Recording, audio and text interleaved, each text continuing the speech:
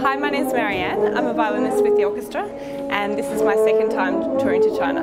Tonight's program is Beethoven Piano Concerto No. 5, The Emperor, and the 7th Symphony. It's actually really interesting to play in all of the different concert halls because every acoustic is so different.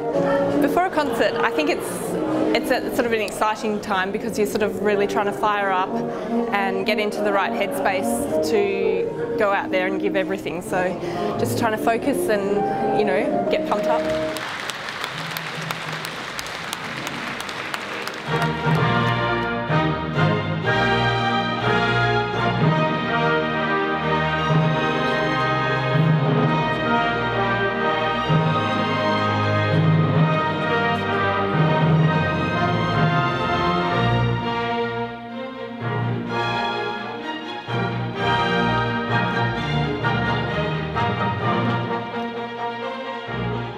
Um, it was fantastic.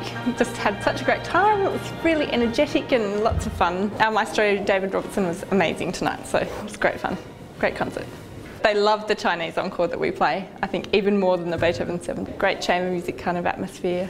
Everybody was listening and really responding. It felt like really fantastic music making.